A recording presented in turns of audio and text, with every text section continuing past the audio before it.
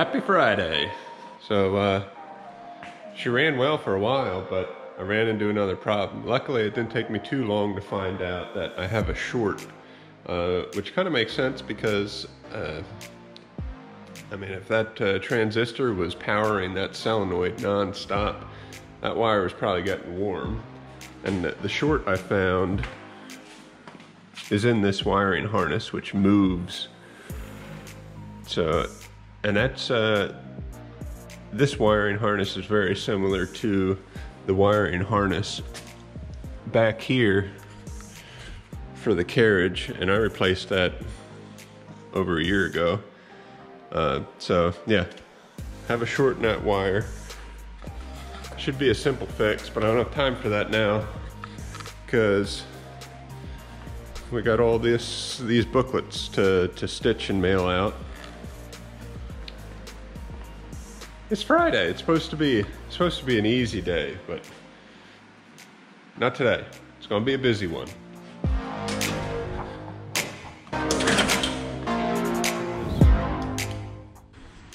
Spoiler alert. Need a new fuser on this bad boy. Luckily I had a spare in the shelf here.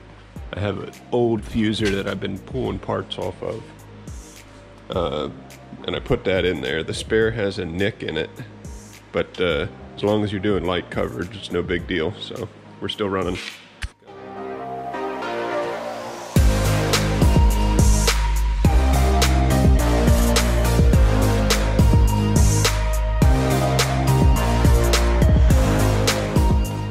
Old 1070 has been running like a champ. I am prepared though I just got a bunch of stuff on hand because I know there's going to be two drums that are going to need to be replaced here soon. I got the developer, I got one developer unit. I'm pretty sure I'm going to need to replace the developer in the black. Uh, and I've heard multiple people say if you need to replace the developer on these machines, you do the unit as well. I got extra wires and I have a what a 400 kpm kit that has the intermediate transfer belt uh, second transfer, a couple rollers, cleaning blade, things like that. It's good to have that stuff on hand. And I actually need to get a couple things for the 1200 too, just to have it on hand so that when something fails, I can throw it in and we can just keep on running now that I don't have service for either of these.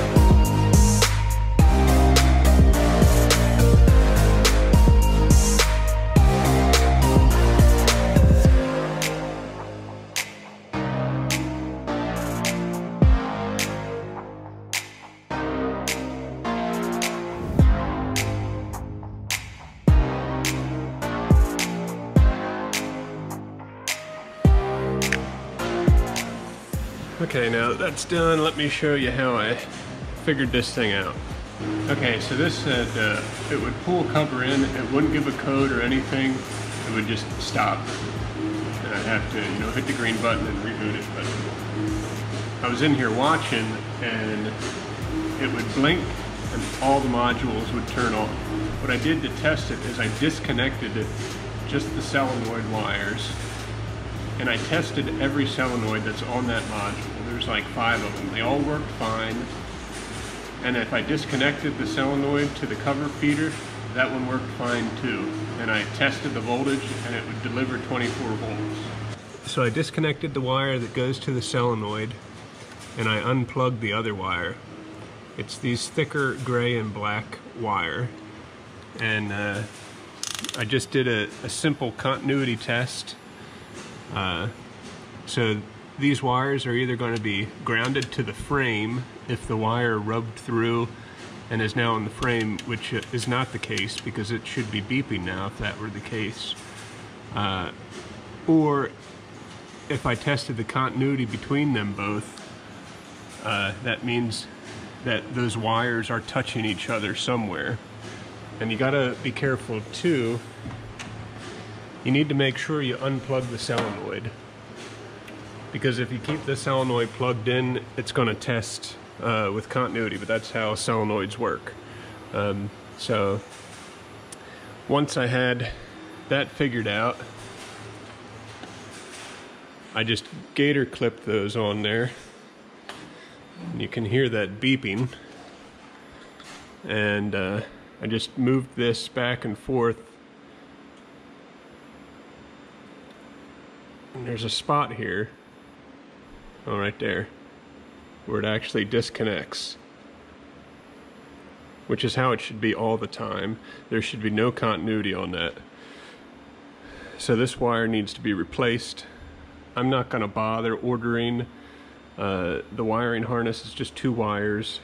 I have some wire laying around here. I'm going to solder in here and hopefully uh, we should be up and running.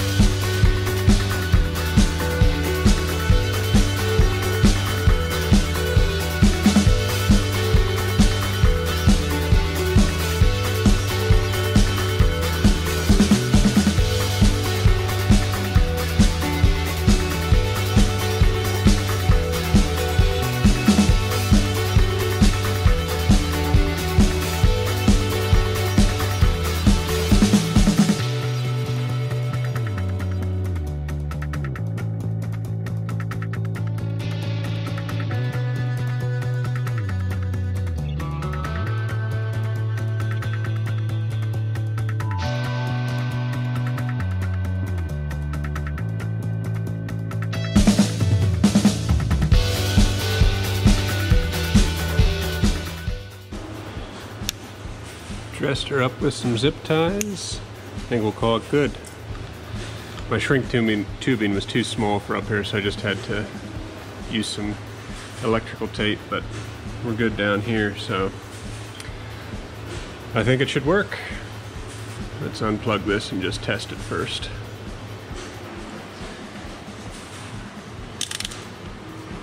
Perfect. It's open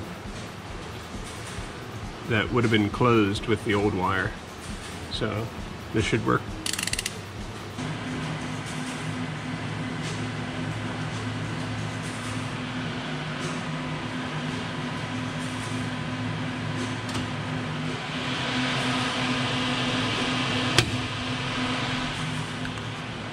Got it. Boy, that's a good feeling. So now, she's all cleaned up, she's ready to roll. So next week we're going to Perfect Bind some books. We'll run her. I think she's good now. I mean, it's pretty common when one part fails that correlating parts can potentially fail. Uh, it's tough to tell whether or not the short blew the transistor or the blowed transistor uh, shorted the wires. But uh, I think it's good to go. We're going to run it for a while next week. Got maintenance to do on the Konica machines, one or two of them. I don't know. We'll see. Anyways, Stick around, come back next week, you'll find out. All right, see you then.